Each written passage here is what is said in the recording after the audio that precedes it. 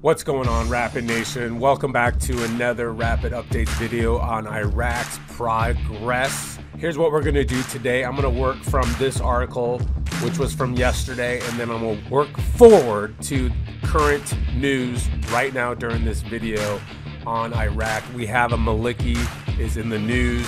There's some good news. I'll get to that in a moment. But let's jump right into this article. Al Kadhimi addresses ISIS from the border strip with Syria. Do not try us, for you have tried a lot and failed. This is his message. He went to the border near Nineveh on the Syrian Iraqi border, gives a speech, delivers to all the commanders and his troops there on the ground, pretty much sending a message to the four letter monster saying, Do not try us. You have tried and failed. We will kick your butt. This is huge right now because of the political process we're going through with Al Kadhimi being possibly getting a second term as prime minister of Iraq. He's showing huge strength, huge posture right now, and also sending a message to Syria, which is controlled by Russia. And what is Russia doing right now? Everybody knows the Ukraine situation. Okay, it's tensions all around the world right now. I'm going to be doing some more videos on Ukraine, so be on the lookout for that. But everything is connected, okay? Iraq is showing strength. A new government is going to be in place here very, very soon. The last thing Al Kadhimi wants is a run on Iraq post election. He says the country is preserved and protected when the borders are maintained. So I think also this is telling his neighbors to the north of him, hey, don't mess with us. There's a lot of connection with Russia, Syria, and Iraq. We're talking about energy here. We're talking about oil, and Iraq needs to protect that. That's their only source of revenue pretty much right now.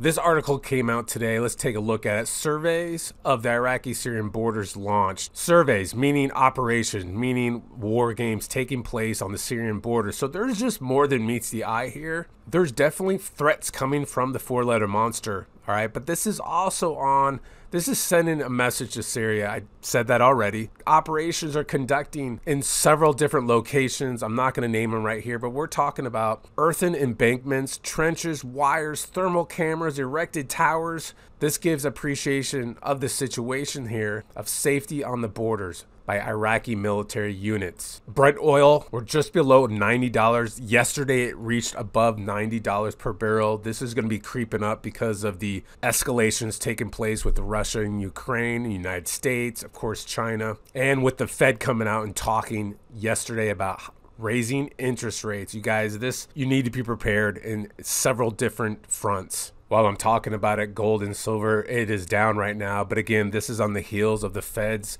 coming out and having their meeting yesterday. Jerome Powell is going to raise rates this coming March. This is not going to be good if you're holding on to a lot of debt. Prepare for the environment ahead. I would rather be prepared several years in advance than to have everything hit the fan and be a day late. Get started today. You need cash flow. You need multiple streams of cash flow. Listen, cash is not king, but cash flow is king, and that's what you want. Even with the devaluation of the US dollar, the point is you still need cash flow in order to live and sustain and pay for goods and services and to buy those assets like silver and gold and maybe some crypto and other things like that.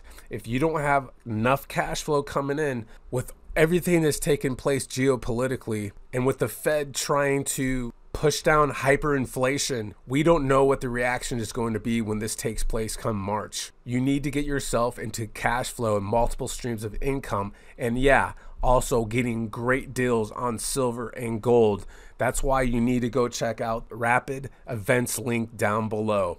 I cannot stress this enough. Why not build your cash flow and get great deals, dealer direct pricing on silver and gold being sent to your home on a monthly basis. This is the real deal. You cannot be hurt. I've looked for things like this.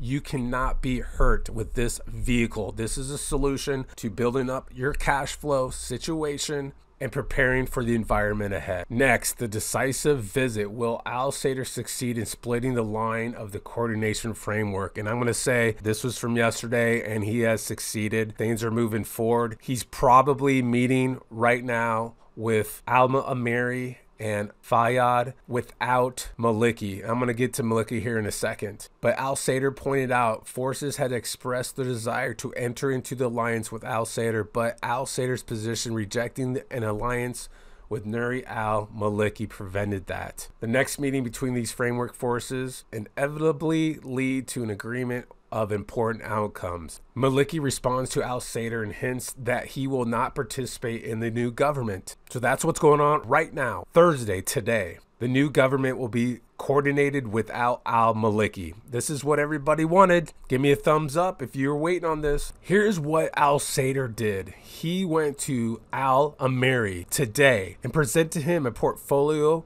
of the Ministry of Interior to Al Fatah in exchange for breaking the alliance with the leader of the state law coalition, Nuri al Maliki, and excluding that latter from participating in forming the next government. So here's what you need to know. This other leader named Al Fatlawi refused to leave the leader of Nuri al Maliki alone in the opposition and not to participate participate in the next government despite his coalition owning he owns a large number of parliamentary seats and what this does for Maliki is it gives him entitlement to fill three ministerial portfolios in the next government. And Al Sadr knows this. He knows this and he wants to split this. All right, Al Halbousi sets a parliamentary session to elect the president of Iraq's republic. This is all going to take place on the, se- the 7th of February, holding a special session to elect the new president of the republic and bringing you up to speed to current news right now as I'm making this video. Here we have Halbousi meeting with representatives to talk about the president's election coming up. So we have the 7th of February is when it's going to be announced or but on Monday, January 31st, they're going to announce the candidates' names. We can look forward to that, President Saleh, and there's also the other candidate jumping over here to my telegram talking to my friend in Baghdad. Zebari is his name. I drew a hazy there. Zebari who's he's telling me he's nominating himself as the presidency Here's what some of the Rapid Nation Telegram group members had to say. Wes says Maliki may be mean, but